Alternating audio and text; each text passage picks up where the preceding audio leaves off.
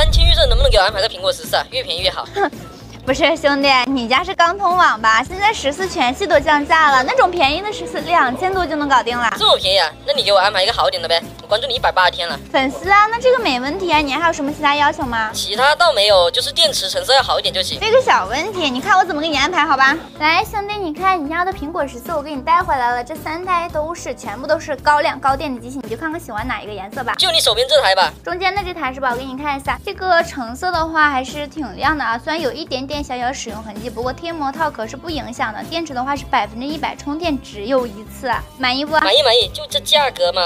这台手机比十一月份跌了差不多有三四张左右啊。我们今天拿货是两千六百五十，你要是要这台的话，你就稍微给我加一点吧。行，那有没有配件给我安排的？当然有啊，咱们家的配件我给你安排双份，像这个壳膜、快充全部都有。毕竟你都关注我一百八十天，也是老粉丝了，我再给你多带一个 S 八的小手表，怎么样？